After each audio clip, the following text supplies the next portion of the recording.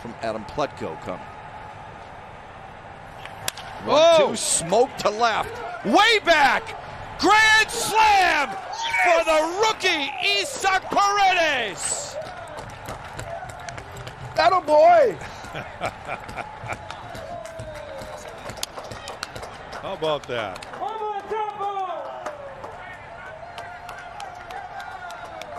He'll never forget that one.